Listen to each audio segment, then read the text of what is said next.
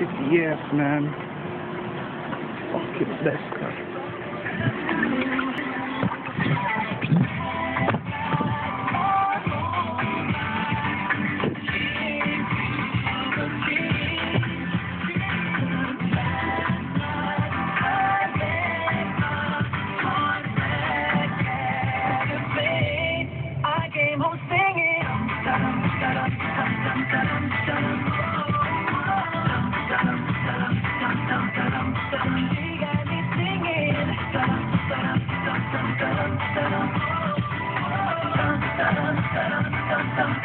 Now